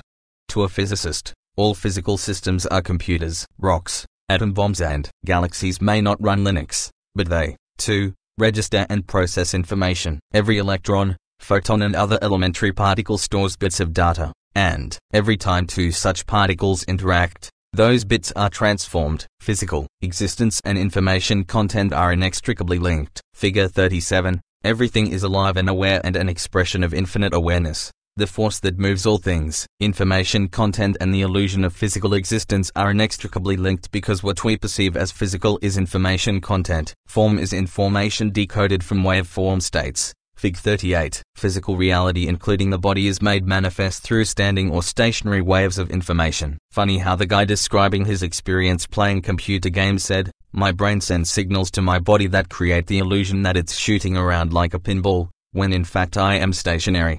He was unknowingly telling a profound truth about reality itself. To create standing waves you need a block or wall at each end called a node point which causes a wave traveling in one direction to bounce back in the other direction and interact with itself coming the other way. This bounced back wave then strikes the other wall or node point and returns in the other direction to create a perpetual motion of back and forth that itself creates a state of oscillation. Fig 39. When the two identical expressions of the same wave interact they cancel each other out in terms of forward movement and create a wave that oscillates up and down or jogs, stands, on the spot. Funnily enough the result looks like DNA and that is related to the fact that the body and physical forms in general are manifested from standing waves retaining particular information in a particular oscillating field. Fig 40. While the standing wave field is oscillating your body is alive and the moment it stops we call death. The human heartbeat is an expression of this oscillation and heart disease is actually a disruption to the oscillation which the heart is only reflecting. From this comes the fact that in the world of form everything vibrates dash if it vibrates its solution, I say that what we call the universe is itself one big standing wave of information that oscillates dash moves back and forth in a regular rhythm. How right we are to talk about the rhythm of life. German biophysicist Fritz Albert Popp discovered that DNA vibrates or oscillates to a particular frequency and I say this relates to the standing wave. Russian researchers led by molecular biologist and biophysicist Pyotr found that DNA not only receives and transmits information, but absorbs and processes it. This is how human genetics can be changed from afar by frequency, information carried by the frequency, and how DNA can be programmed. This will be very significant as we proceed. What we call evolution with species changing to stay in sync with a changing environment and developing gifts perfect for survival comes from the information interaction between the quantum field of possibility and probability. DNA and the human energetic field. The whole body is an antenna including bone and skin because in their prime state they are waveform electromagnetic fields. Grazyna Fosar and Franz Bludorf write in the German book, Vernetzte Figure 38, The Illusion of What We Think We See. Copyright www.neilhague.com. Figure 39, standing or stationary waves that hold information in place until the frequency is disturbed or switched off. Figure 40, Standing wave DNA. The latest research explains phenomena such as clairvoyance, intuition, spontaneous and remote acts of healing, self-healing, affirmation techniques, unusual light auras around people, namely spiritual masters, minds, influence on weather patterns and much more. The Russian scientists also found out that our DNA can cause disturbing patterns in the vacuum, thus producing magnetized wormholes. Wormholes are the microscopic equivalents of the so-called Einstein-Rosen bridges in the vicinity of black holes, left by burned-out stars. These are tunnel connections between entirely different areas in the universe through which information can be transmitted outside of space and time. The DNA attracts these bits of information and passes them on to our consciousness. Whatever happened to little me? By expanding the frequency band on which DNA is operating, by expanding our consciousness, we can connect with other realities beyond the five senses as psychics and mediums do. We can heal and be healed remotely by using our consciousness to deliver harmonizing frequencies to another's DNA. We can do this to ourselves through consciousness communication with our own DNA. This is the background to how mind can miraculously heal the body. There is nothing miraculous about this at all. Reality is designed to make this possible. But that knowledge has been suppressed to keep us in ignorance of our true power. Placebo pills trick the mind into believing they will be effective in curing illness and the mind's perception of this is communicated subconsciously to the body which then responds to that perception and heals itself. Surgeon Andrew Carr, professor of orthopedic surgery at the University of Oxford, said that thousands of patients may be cured not by the operation but by a belief that an unnecessary operation would remove the problem. Having to stop work, having to change your life, coming into hospital, all of these people dressed in blue with hats on, you're anesthetized, all of that, if we believe in placebo, is surely a setup to create a phenomenal placebo effect. Studies have shown that patients who have fake surgery, but believe they have had the real thing, can recover almost or equally as well as those who have genuinely had the operation. Everything in all infinite existence is consciousness, awareness interacting with itself. DNA is a receiver transmitter. Mainstream science has said that at most only 5% of DNA is active at a physical level and the other 95% has been dismissed as junk DNA because it appeared to have no function. We don't understand what it does and so it can't be doing anything. This almost entirety of DNA operates in, and interacts with, the unseen. Russian researchers have established that DNA is encoded with the same structure and rules that can be found in all human languages. DNA and the body in general is indeed a biological computer and if you know how to program the software you can cure anything you want, stem the aging process and extend lifespan almost as long as you choose. Instead of exploring these incredible frontiers the elite families and their networks manipulating human society seek to conceal this knowledge and,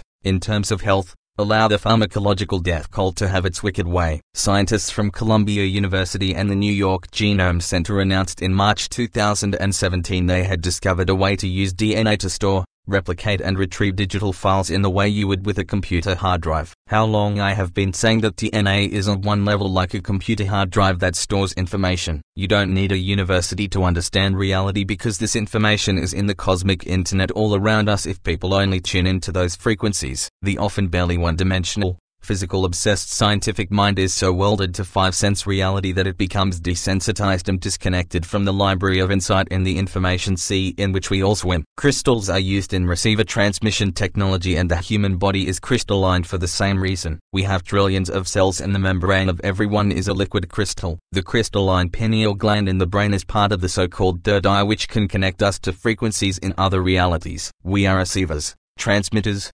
decoders and processors of information interacting with the cosmic internet. One way DNA communicates is through what science calls biophotons in the visible and ultraviolet spectrum, which are emitted by biological systems. Nikola Tesla said the brain is only a receiver and that is clearly so. Consciousness does not come from the brain but through the brain which is a processor of information both from the five senses and consciousness beyond this reality. It is our choice what level of awareness we allow our brain to process into conscious perception, Fig 41. For this reason we have people with very different awareness interacting with each other in human society with the most aware facing the ridicule and disdain of the unaware. Fig 42. Did I mention the inversion? Writer Jonathan Swift, 1667 to 1745, said, When a true genius appears, you can know him by this sign, that all the dunces are in a confederacy against him.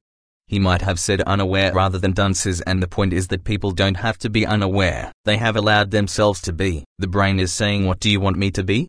It is now known that the brain has plasticity and changes according to information received and this is why the almost constant electrical stimulation from smart technology is changing the way the brain processes information into the perceptions of the conscious mind. If people self-identify as phantom self or five-sense self the brain will process information at that level. But when we open our minds to expanded awareness the brain restructures or rewires to process that. Figure 41. What scale of information do we allow our brains to process? Openness of mind will decide. Figure 42. The same physical reality but different points of observation. The great inversion means that those who tap into expanded awareness are called mad by those who don't. You see it when you, er, See it a few scientists over the years have postulated that the physical world only exists when we look at it. They call this the observer effect. Support for this contention is now gathering in the science community dash among those who have ditched the song sheet that is, but I suggest they are missing the key word here. Decoding. It is not so much the observer effect as the decoder effect. The connection between the two is that the act of observation or focus activates the decoding systems of the brain body. When we are not looking, decoding, then reality is always in a waveform state. Only when we decode waveform information into what is holographic information does the 3D world that we know appear to us, in our own minds. Fig 43. We are seeing more and more mainstream headlines like this one, your entire life is an illusion, New test backs up theory that the world doesn't exist until we look at it. The article goes on to say that the famous theory in quantum mechanics which argues that a particle's behavior changes based on what we see had now been proved to be true on the scale of atoms in a new experiment by scientists at the Australian National University. At the quantum level, reality does not exist if you are not looking at it. Said Associate Professor Andrew Truscott. There is another aspect to this as well. Perceptions of the observer influence the way we decode reality from the information possibilities and probabilities encoded in the cosmic internet. Two different perceptions of reality will not decode exactly the same outcome in the same way. The process is encompassed in this quote from writer Joseph Michael Straczynski. Figure 43, Focus-observation triggers the decoding process that turns waveform information into the illusory external world. Without the observer, decoder, everything remains in waveform. Accidents happen, that's what everyone says. But in a quantum universe there are no such things as accidents, only possibilities and probabilities, folded into existence by perception. Yes, perception. Endless experiments have shown how people add things to their visual reality that are not actually there, but they believe should be an expression of the 40 from 11 million deal. My biggest book in terms of volume is called The Perception Deception because the entire control system of human society is based on the manipulation of perception. Those in the shadows that know how we interact with reality, but don't want us to know, are well aware that if they can program our perceptions we will decode our experienced reality in a way that reflects those perceptions. This is the whole foundation of how the few control the many through the manipulation of perception. What we believe we perceive and what we perceive we experience. This is not supposition, it is physics. George Berkeley, 1685 to 1753, after whom Berkeley University is named, could see that material reality was an illusion and he said, the only things we perceive are our perceptions. This can be confirmed on the most basic level in that a person who sees the glass as half empty will not experience, decode from quantum possibility and probability the same outcome as one who sees the glass filled to the brim. A more extreme example is firewalking. When you walk barefoot on red hot coals with the belief that you will get burned then that is what will happen. But if you go into an altered state of consciousness, altered sense of reality, you can do the same and not get burned, as firewalkers all over the world have shown. Fig 44. An illusion cannot burn an illusion unless you believe it can and so decode that reality from a perception of that reality. Associate Professor Andrew Truscott said that his Your Entire Life is an Illusion experiment showed that the atoms did not travel from A to B. And it was only when they were measured at the end of the journey that their wave-like or particle-like behavior was brought into existence, or it was decoded into existence by the impact and influence of focus and perception. The voice that I heard in the ayahuasca experience in Brazil said, why do you fly from point A to point B when you are point A and point B and everything in between?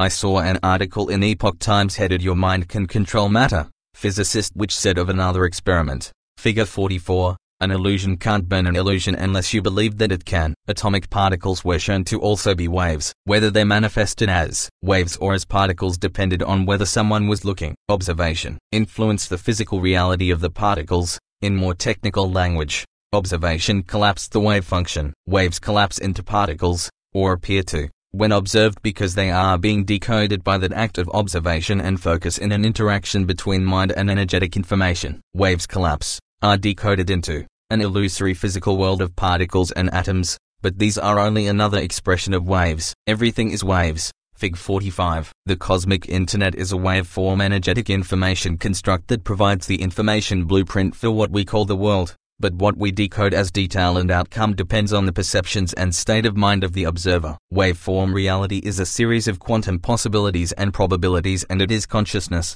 perception, that dictates which of those probabilities and possibilities in the energetic fabric of the cosmic internet are, waveform collapsed, into experienced reality. Control perception and you control everything. John Wheeler, a Nobel physicist, said, no phenomenon is a real phenomenon until it is an observed phenomenon, or as I would say, a decoded phenomenon. The dream is the dreamer and the dreamer is the dream because the dream is a decoded extension or projection of the dreamer. All that we see or seem is just a dream within a dream. As Edgar Allan Poe said, if you want to control the dream you must control the perceptions of the dreamer and that's the global conspiracy to enslave humanity in a single sentence. How real and physical some dreams can be while we are asleep to the physical world. Dreams can be symbolic representations of mental and emotional states or connections to different wavelengths of reality measured by the nature of different brainwave states, beta, delta etc. The deepest of them, the sleep the Greeks called hypnos, Ah, are way beyond the perceived world of the physical. I have incredibly vivid dreams almost every night while in almost coma-like states and they are as physically real on their wavelength as the world of five-sense mind. Figure 45,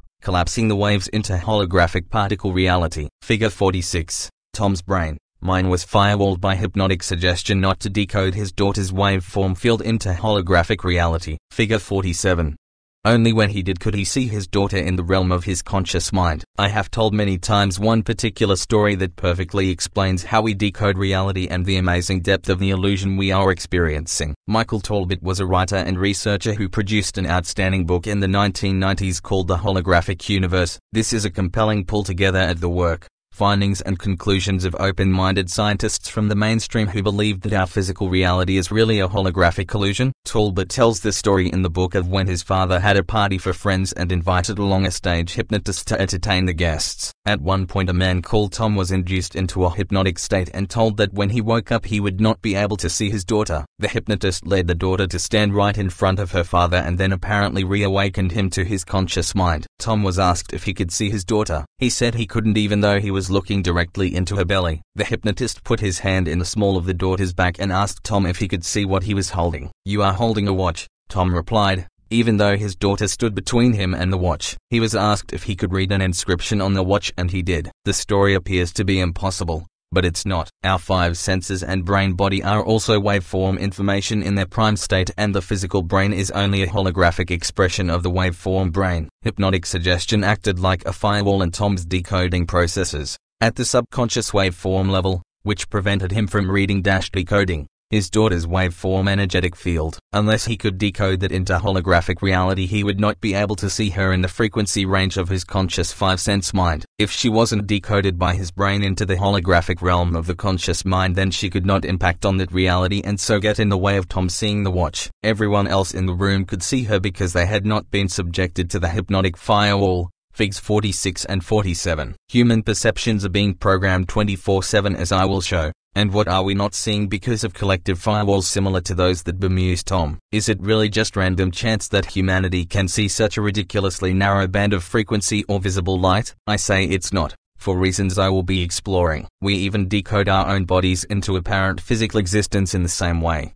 Fig 48. It's hysterical. Really, given how we experience the world to be so solid. Color? Nope that doesn't exist either until you decode it. Colors and shades of color are information fields of different frequencies which only become the colors that we think we see when we observe them. Decode them into that form. Fig 49. English scientist Isaac Newton, 1642 to 1726 rightly called the rainbow frequency band of colors a spectrum which is Latin for apparition or phantom and the origin of the word spectre. Black absorbs all light, so it's black. White reflects all light, so it's white and different colors absorb some light frequencies and reflect others. What they reflect is what we see as their color when those reflected frequencies are decoded into electrical information by the sight senses and into holographic perception in the brain. Figure 48, we are decoding, observing, our own bodies from waveform information into a holographic state. Figure 49, colors are frequencies of information that we decode into the colors that we think we see. What physical? Our reality is not physical,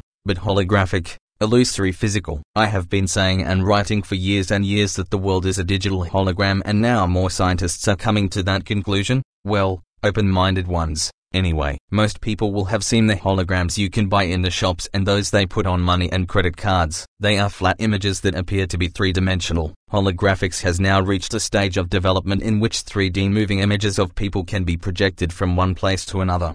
Fig 50. We have seen television programs presented by holographic people after they have died and duets between living singers and departed singers such as Elvis. Fig 51. Holographics is mimicking the very holographic reality that we experience as life. Holograms are a photographic record of light reflecting from an object. We can only see objects when light is reflected from them. Although I say there is more to know about that, and so when you are in a pitch black room you can't see anything. Rich Terrile director of the Center for Evolutionary Computation and Automated Design at NASA's Jet Propulsion Laboratory, said in late 2016 on a Richie Allen radio show on Davidicke.com that the universe is a digital hologram and, as such, had to have been created by some form of intelligence. I have been saying this for so long while being ridiculed by both the mainstream media and much of the alternative. We live in the equivalent of a computer simulation like the one portrayed in the Matrix movies and I will be revealing at length the nature of both the simulation and the intelligence that created it. I use the term computer But what controls the simulation is far beyond anything we would perceive as a computer. Holograms that we buy or see in the various media are created by using a laser beam and mirrors, Fig 52 overleaf. One half of the laser is deflected onto the object and then onto a photographic plate while the other half bypasses the object to directly strike the same photographic plate. When the two beams collide the subsequent pattern represents an image of the object in, wait for it, waveform, Fig 53 overleaf. The pattern appears to be just a random series of lines that look a bit like a human fingerprint and this is known as an interference pattern. The principle is the same as two stones dropped in a pond. Waves move out and collide to produce a wave pattern in the water that reflects the size and weight of the stones, where they dropped, how quickly and how far apart. When a laser or light of a single wavelength, coherent light, is directed at the holographic waveform interference pattern something apparently amazing happens as a 3D image of the object is projected. Illuminating the waveform pattern reconstructs the object's waveform state and our eyes perceive this as the object itself as the brain decodes waveform information into holographic reality just as it does with real reality. Replace the laser or coherent light on the waveform print with human focus or observation and you see the process through which we decode the 2D waveform cosmic internet into the holographic 3D world of experienced reality. The best holograms can look as solid as you and me, but that's all illusion and you can wave your hand through them. Figs 54 and 55. This is the basic foundation of why our reality looks so physically real when it isn't. Figure 50. The lady is a hologram. Figure 51. Holographic versions of people are becoming commonplace today. Figure 52. Creating holograms. Figure 53. Hologram and waveform which the laser reads, decodes, into an apparently 3D image. Figure 54, holographic solidity you could wave your hand through. Figure 55, holograms mimic our experienced reality. Figure 56, even mainstream science is now being forced to rethink reality. New Scientist, the UK mainstream science magazine, ran a front page story in 2009 entitled You Are a Hologram Projected from the Edge of the Universe and Scientific American magazine gave similar coverage to a story headed Are You a Hologram? Quantum physics say the entire universe might be. See figure 56. Another mainstream media report in 2017 carried the headline, The universe could be a vast and complex hologram, scientists say. The report explained how researchers from the UK's University of Southampton, working with colleagues from Canada and Italy, had found substantial evidence that we are part of a massive illusion akin to watching a 3D movie projected from a 2D screen. The team, which detailed the findings in the peer-reviewed scientific journal, Physical Review Letters, said the research discovered irregularities in cosmic microwave background otherwise known as the afterglow of the Big Bang, which didn't happen. Kostas Skenderis, a professor of mathematical sciences at Southampton, said it was similar to watching a 3D film in the cinema. The difference was that we are able to touch objects and the projection is experienced as real. We don't touch objects, but interact waveform to waveform and the 3D cinema screen is our own decoding process. Where I differ from even holographic reality orthodoxy is that I say the holographic universe is not a construct that exists externally to us but only internally when waveform information or the cosmic internet is decoded by body-mind into holographic form. The universe is not a hologram. The universe is waveform information. We decode that information into what we experience, inside our minds not outside, as holographic or physical reality. What we see on a computer screen comes from decoding processes inside the computer not outside. A research team from universities across Japan has developed holograms that you can appear to touch in technology like Microsoft's HoloLens uses headsets to combine normal reality with holographic inserts that includes real-sized digital people. They are actually inserting technological holograms into a biological holographic reality. Professor Skenderis said that while we perceive the pictures as having height, width and depth they do in fact come from a flat screen. He said that holographic reality is a huge leap forward in the way we think about the structure and creation of the universe and could finally combine Einstein's theory of gravity and quantum theory something scientists had been working for decades to do. Researchers at Ibaraki University in Japan say they have found compelling evidence that the universe is a holographic projection. I have been making these points in my books and talks for one and a half decades at the time of writing. You don't need a scientific mind to understand reality, you need an open one. I repeat that a scientific mind can be a block on understanding because of its worship of orthodoxy and obsession with examining only dots and so not seeing pictures. A unique characteristic of holograms is that every part of a hologram is a smaller version of the whole and this explains so many apparent mysteries. If you cut a holographic print into pieces each of them will produce a smaller version of the whole picture. not just a part or fragment. Fig 57.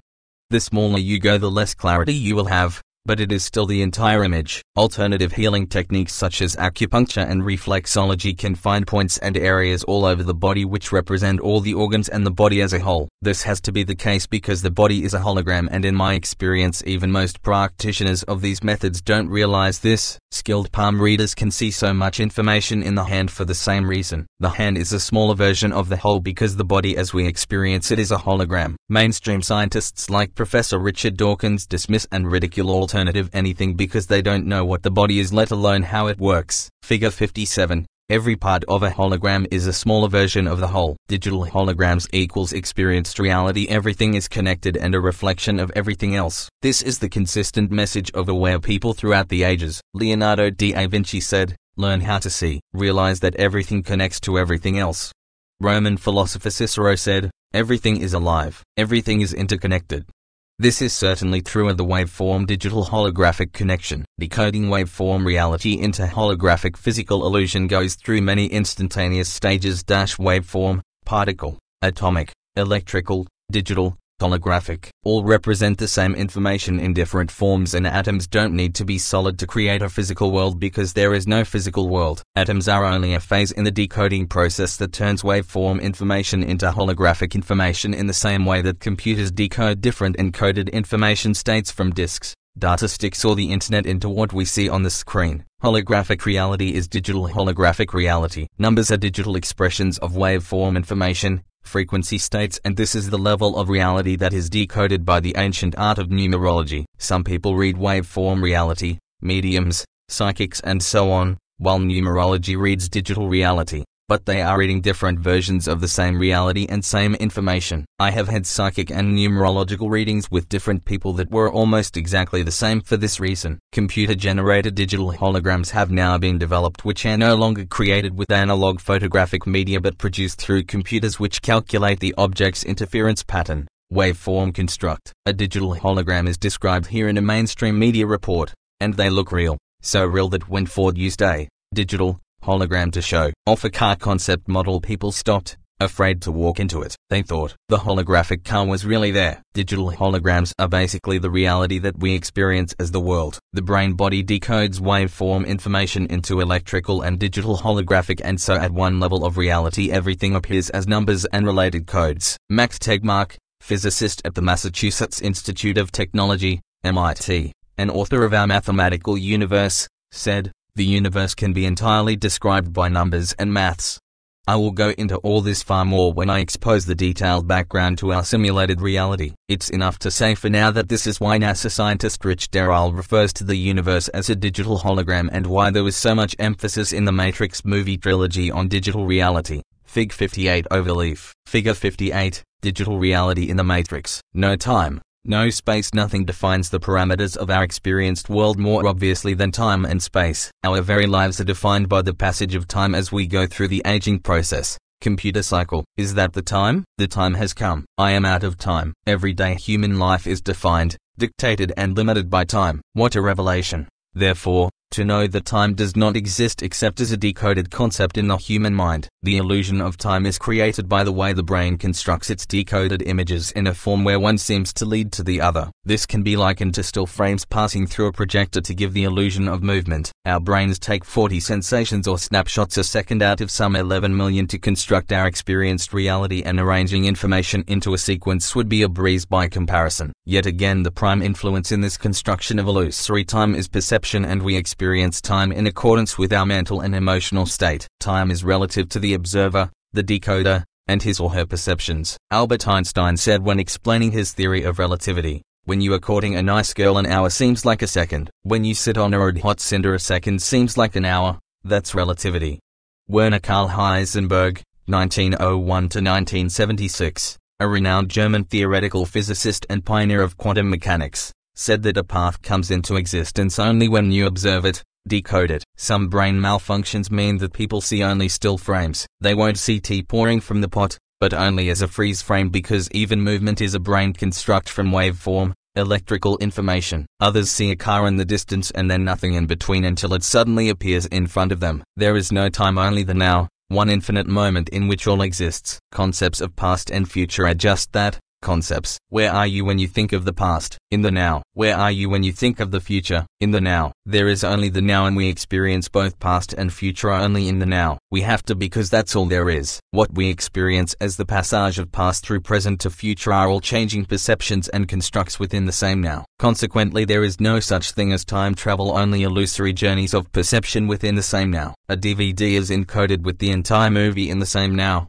but we experience the changing scenes as the progression of time. What we have watched is the past and what we have yet to watch is the future, but every scene as they play through is on the same disc in the same now. Someone watching an earlier scene in the movie will be in your past symbolically, but they are watching that in the same now in which you watch the later scene. Fig 59. Another DVD analogy is that the information on the disc requires technology to decode the information to appear as pictures and sound on the screen. This is what the brain, mind is doing with the quantum computer waveform universe. Scientific experiments at the quantum level have shown that the past can be changed and influenced by the present. This seems extraordinary until you realize that what we perceive as past, present and future are all happening in the same now and what appears to be the present affecting the past is really the now affecting the now. Day and night are changes happening in the now when they appear in decoded form to be happening in the sequence that we call day and night. This is another collective illusion encoded into the construct of the cosmic internet. The calendar of time is a manipulated creation of the Roman Church and clocks are created by humans and not by non-existent time. This is the clock time illusion.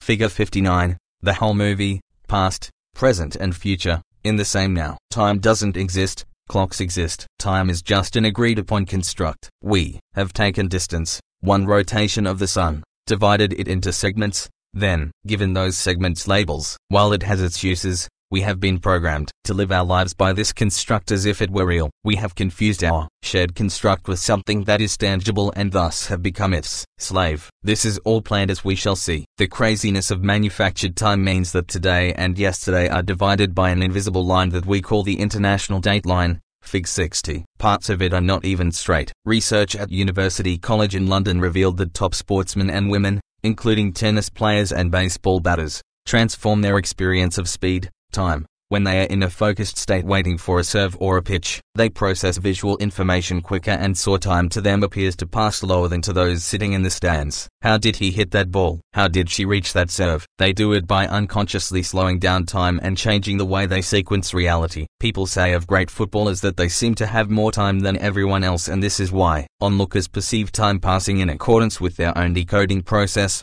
but in the mind of the player events are passing slower. This concept was portrayed in the Matrix movies as people dodging bullets. Fig 61. I had an experience as a goalkeeper in one match when time slowed down to almost nothing. I had no idea what had happened until years later when I began to grasp the nature of reality. A player smacked a shot with great power and I should have had no chance of stopping it as it sped for the top left-hand corner but as he struck the ball everything for me transformed into serious slow motion. I can still see the ball moving in slow motion high towards my left hand side as I moved across to get in line. I then launched myself, still in slow motion, and managed to turn the ball over from where the post meets the crossbar. This slow-mo was accompanied by silence until my hand touched the ball and then everything crashed back into normal speed and noise. It was the best save I ever made and I lay on the floor thinking what just happened? Is this another unexplainable mystery? No, the experience was my mind decoding reality differently, that's all. Sports people talk about their top performances happening when they are in the zone and they describe this as a perceptual state in which everything is silent and often happening in slow motion. Here you have the zone explained. Focus, observation, collapses waveform reality into particle, holographic reality and the extreme focus which often happens in sport adds a different dimension to that decoding process. Those experiencing a car crash and other traumatic events say that everything seemed to happen in slow motion. It would be more accurate to say that the extreme focus triggered by the trauma made their mind decode information quicker and so create the experience of time slowing down. Time slows near the speed of light because perceptions of the observer change. The speed of light is not really a speed at all. It is a perception program encoded in the collective human mind. Light speed is not out there dash it is in here. The mystery of how two so-called entangled particles billions of miles apart can react to each other instantly can also be explained. This is not the result of the speed of communication across distance,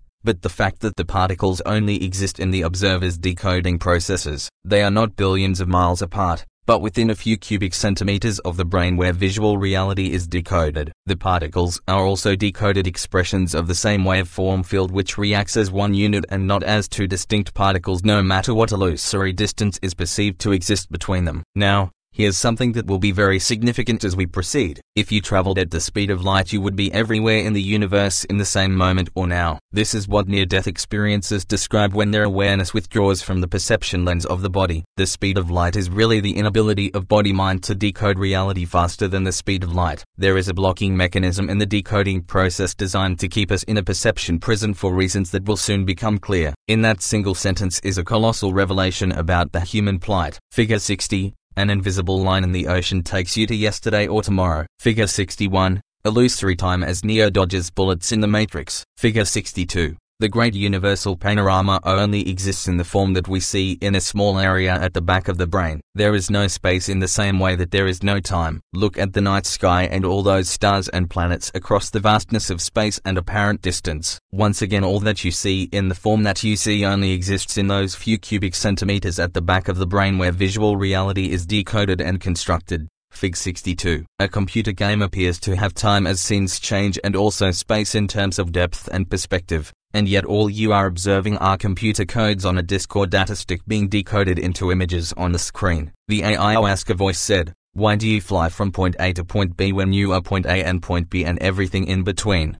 Space, as with time, is part of the illusory construct that the mind uses to define holographic reality. In the act of manifesting apparent objects from the waveform field the illusion of space naturally appears to be real. Remember that what we call space is not a thing but is instead defined only by holographic images in our minds. In a room full of objects, images, we say there is not much space while on the Great Plains of the American Midwest where objects appear far apart we talk of wide open spaces. Space as an entity in and of itself is an illusion of the holographic decoding process and is defined not by itself, but by the perceived distance between holographic forms. How can space and distance be real when changing conditions such as speed can change the apparent distance and thus space? Alcohol and drugs can change spatial awareness because of their effect on the perceptual decoding process, as the near-death experiencer said of out-of-body reality. Apostrophe. There is no time. There is no sequence of events, no such thing as limitation, of distance, of period, of place. I could be anywhere I wanted to be simultaneously. The scalar connection there is an overall field that encompasses the entirety of our reality and operates beyond what we perceive as time and space and the speed of light. I will call it the scalar field. The term scalar is highly controversial among scientists and those who challenge their orthodoxy,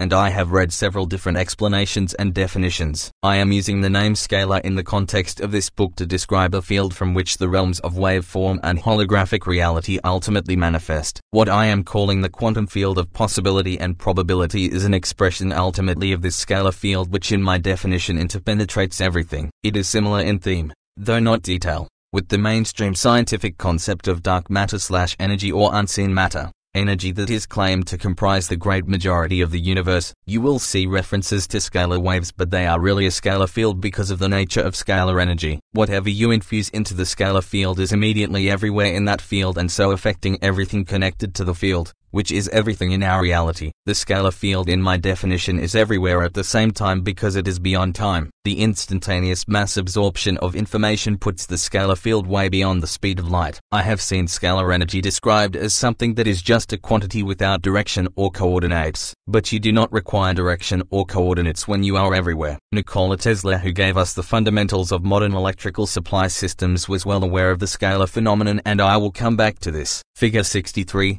Doctors are misled their entire careers about the true nature of the body and how it works. Medical madness something to ponder. We have virtually an entire global medical profession treating the body and its malfunctions while having no idea what the body or reality really is. MMMM. I wonder why mainstream medicine is one of planet Earth's biggest killers. It's like asking me to mend your car engine. It would never work again. The difference is that I wouldn't dream of messing with an engine I know nothing about while doctors mess with human bodies every day that they misunderstand in their foundation form because medical science has misled them their entire careers. Fig 63. Why they are misled is coming later on. I am not saying that doctors don't do good work that benefits people, But talking in totality how can you not create mayhem overall if you are treating something that you don't understand? Mainstream medicine doesn't accept that the body is a waveform information construct and sees only the illusory physical from its perceptual prison of the five senses. The holographic level of the body is a decoded projection of waveform information and always reflects that informational state. The balance or imbalance of the waveform field reflects as the balance or imbalance,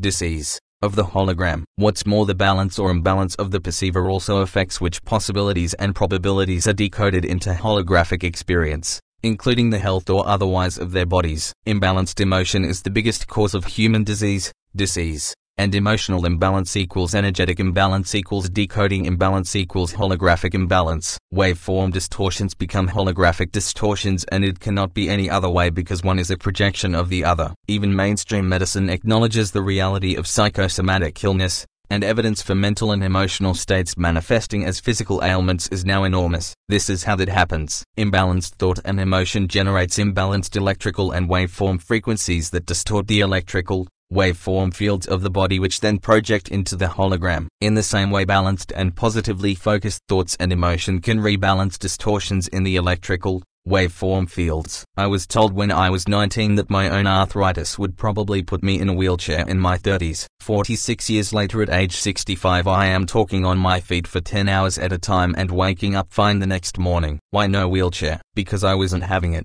That's why. As I told the wheelchair predictors at the time, mind governs physical experience, and awareness beyond it even more so if we allow it in. Perception decodes reality from the quantum field of possibility and probability and in doing so dictates health. Doctors give a prognosis or life expectancy and that perception dash if accepted by the patient becomes a self-fulfilling prophecy as perception is decoded into experienced reality. Message to doctors, don't tell people what is going to happen to them or how long they have to live. Let them decide that not you. Mainstream medicine sees only the hologram or what is perceived to be physical and when your only tool is a hammer every problem looks like a nail. More aware people know that so-called modern medicine only treats the symptom and not the cause. But how else could that be when you only accept the existence of the five-sense body and not of the waveform field from which it is holographically decoded? The cause is imbalance in the waveform field, most often caused by imbalanced emotion and with the medical profession rejecting the existence of the waveform level they cannot possibly treat the cause. They are left with only the symptom and the way waveform imbalance manifests in the hologram. You have a pain? We'll give you a painkiller. You have a cancer? We'll cut it out or destroy your immune system for life with chemotherapy.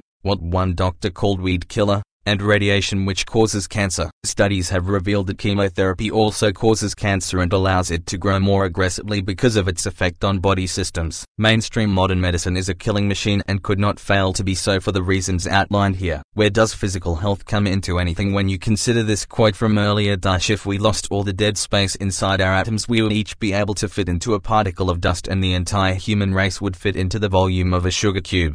My own view as I said before is that we are not even a particle of dust because matter is 100% illusion, so where do physical ailments like arthritis come from? They are not physical because there is no physical dash they are schisms in the energetic waveform, electromagnetic field and must be healed at that level. Killing the competition alternative or complementary medicine overwhelmingly targets the waveform level of energetic information with the understanding, among the best practitioners I should stress, that if the waveform field is in balance the physical body must be so. They seek to help the body heal itself. These are the same alternative healers that are now being mercilessly targeted with fierce regulation and intimidation by tyrannies including national governments, the European Union and a global scam called Codex Alimentarius, created by Nazis jailed for war crimes, which are all working in the interests of the big pharma pharmaceutical cartel to destroy the complementary competition. Codex Alimentarius or Food Code slash Food Book seeks to use the excuse of harmonizing global regulation to take genuine complementary treatments out of circulation and give control over useless synthetic copies to big pharma. My longtime friend Mike Lambert at the Shen Clinic on the Isle of Wight is a healing genius who knows what the body really is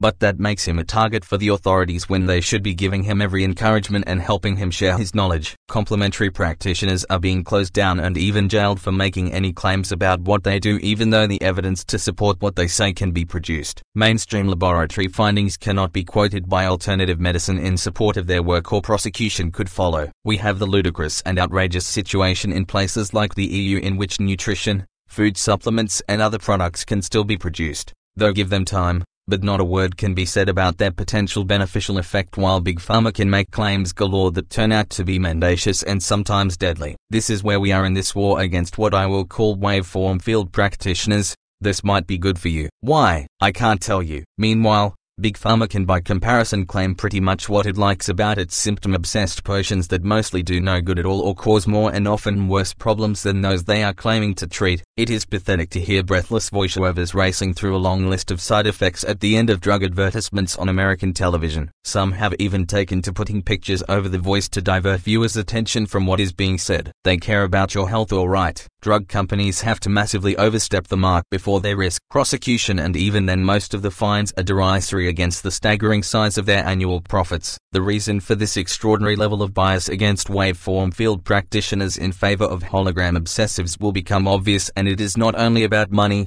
Far from it. They want to destroy all alternatives to Big Pharma as part of a global agenda of human control and oppression. Governments, global bodies and Big Pharma have long been targeting alternative methods and practitioners in a coordinated conspiracy which I have exposed in other books. The idea is to delete all other healthcare and leave humanity at the mercy of these pharmaceutical psychopaths who have been exposed for shocking practices that include reducing drug supplies to drive up the price by thousands of percent, Fig 64. The global campaign against alternative ways of healing are made easier by the astonishing amounts of money spent in political campaign funding and lobbying by the big pharma cartel. Donald Trump's health policy replacement for Obamacare in the United States was drafted by people given hundreds of thousands of dollars by the pharmaceutical industry. Another point to make here is that big pharma poisons and potions are damaging and imbalancing the body's waveform field even while its existence is publicly rejected. I say publicly because deep in the shadows they know how it all works and therefore the havoc they wreak. If you could see pharmaceutical drugs on their waveform level you would see distorted and chaotic fields of frequency and vibration that interact with the waveform fields of the body and pass on that distortion and energetic chaos. We call this side effects when the distortions play through to the hologram. Swallowing poison does not directly kill the body,